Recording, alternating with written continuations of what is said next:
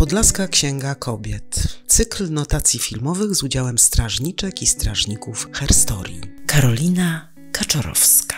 Kto jest bohaterką dzisiejszej notacji filmowej? Staramy się przedstawiać w naszym cyklu kobiety zwykłe, ale też niezwykłe. I jedną z bohaterek y, jest Karolina Kaczorowska. Wspaniała kobieta, matka, pierwsza dama, żona Ryszarda Kaczorowskiego, prezydenta Rzeczpospolitej Polski na uchodźstwie, harcerka, piękna, skromna kobieta, kobieta Sybiru, doświadczona przez los, która urodziła się w Stanisławowie w 1930 roku. Stanisławów, obecnie Iwano-Frankowsk, leży w tej chwili na terenie Ukrainy, co jeszcze dodatkowo, jak gdyby podkreśla, taką trudną sytuację dzieci tułaczych, które były zesłane na Syberię. Jako dziewięciolatka trafiła na Syberię. Ze swoją rodziną, z ojcem, który był y, oficerem Wojska Polskiego. Miałam wtedy 9 lat i brata, brata miałam, który miał 14, matkę i ojca, którzy za w ciągu tygodnia zabrali do, do łagrów.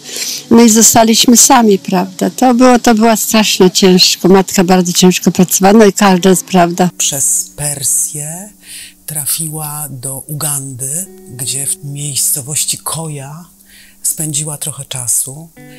Przeczekała ten czas trudny bardzo i y, wraz z, woj z wojskami y, generała Andersa trafiła do Londynu.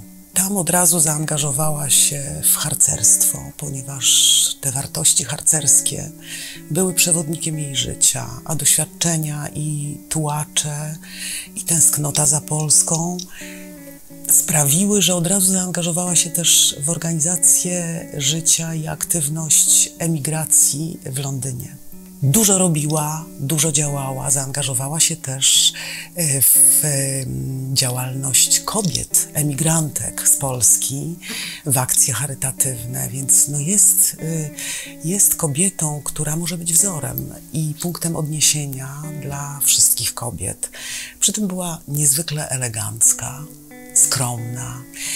E, potrafiła rozmawiać z każdym człowiekiem bez takiego zadęcia, jeśli mogę użyć takiego słowa.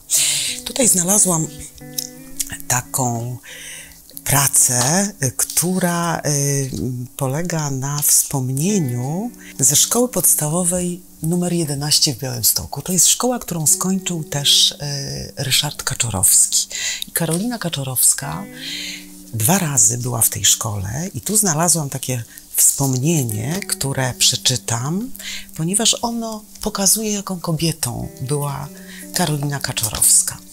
E, autorką tego wpisu jest Nadzieja Chmielewska, nauczycielka Szkoły Podstawowej nr 11 w Białymstoku. Dojrzałość, doświadczenie, mądrość, szacunek dla drugiego człowieka, odpowiedzialność i świadomość spełnienia. Takie cechy przychodzą mi na myśl, gdy myślę o tym spotkaniu. Jest autentyczna, otwarta, miła, z poczuciem humoru, posiada niesamowity dar nawiązywania więzi międzyludzkich. Podeszła, zamieniła parę słów, wzięła za rękę, ustawiła się do zdjęcia i nagle znalazłam się w jakimś lepszym świecie.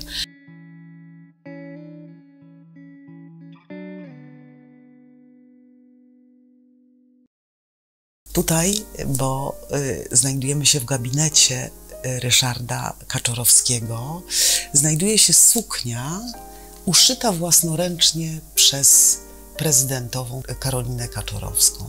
Więc miała też takie artystyczne i użytkowe umiejętności i to można by rzec bardzo dziwne, że prezydentowa sama szyje sobie sukienkę, prawda? A jednak y, świadczy to o odwadze, o skromności, o takiej autentyczności. Sukienka jest piękna, znajdziemy ją na oficjalnych zdjęciach. Stoi u boku swojego męża, prezydenta Kaczorowskiego. Życie pary prezydenckiej dokumentował profesor Adam Dobroński. I to właśnie on, wspominając, y, wspominając panią Karolinę, powiedział tak. Nie celebrowała jednak pani Karolina sukcesów swoich i swojego męża, którego kochała, wspierała, podobnie jak córki Jagodę i Ale, wnuki i prawnuki.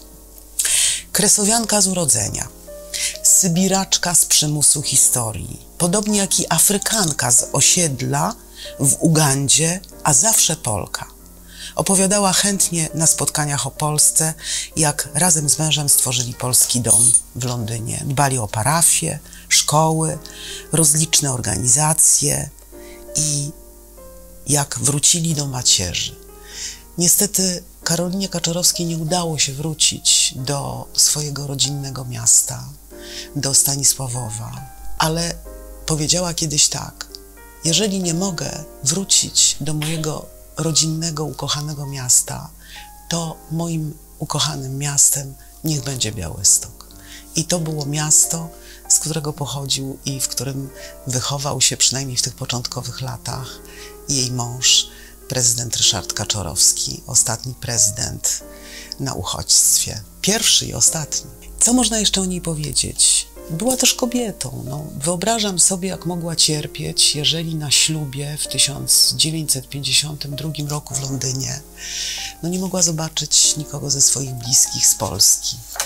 Takie to były trudne czasy. Kiedy zdarzyła się katastrofa smoleńska, Karolina Kaczorowska była chora i tylko dlatego nie znalazła się w samolocie. E, wielokrotnie potem przyjeżdżała do Białego Stoku, brała udział w marszach pamięci Sybiru. Była zawsze ciepła, oddana, tak jak tutaj. Mm, przyjeżdżała, kontaktowała się z młodzieżą, cały czas była też aktywna, jeśli chodzi o harcerstwo. Wspaniała kobieta, wspaniała. Urzeka mnie jej siła, która wynika nie z takiej mocnej y, postawy, silnego głosu, tylko właśnie z takiej delikatności i skromności. W tym też może być wielka siła i stąd można naprawdę wiele zaczerpnąć. O jej wielkości świadczy fakt, że kiedy zmarła, pogrzeby odbyły się jednocześnie w Londynie i w Białymstoku. Bardzo piękna uroczystość e, w naszej katedrze z udziałem najważniejszych osób, największych przyjaciół Karoliny e, Kaczorowskiej, ale jednocześnie taka sama uroczystość w Londynie.